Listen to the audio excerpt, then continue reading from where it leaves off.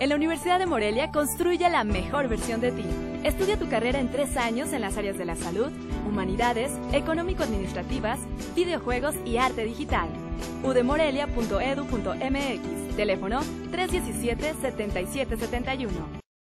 El gobernador Fausto Vallejo Figueroa anunció la construcción de dos cuarteles militares para blindar la frontera de Michoacán con los estados de Jalisco y Colima, tras reconocer que son zonas copadas por el crimen organizado. Se va a empezar a construir eh, un eh, cuartel para albergar un batallón del lado de Jalisco y en los próximos días empezará la construcción también de un cuartel en Cualcomán, eh, en donde albergará de uno a dos batallones. Con esto, estas acciones, se trata de sellar la frontera de Colima, Jalisco y Michoacán.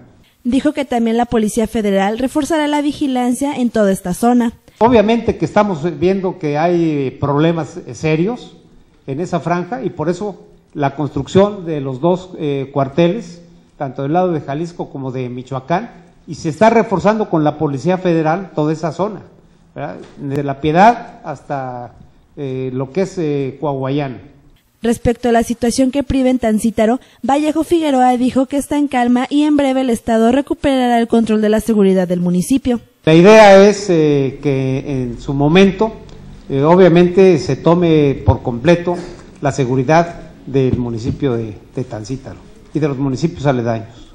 En rueda de prensa conjunto con Guillermo Ruiz de Teresa, coordinador de Puertos y Marina Mercante, el gobernador de Michoacán reconoció que hay tres indígenas desaparecidos en la comunidad de Aquila.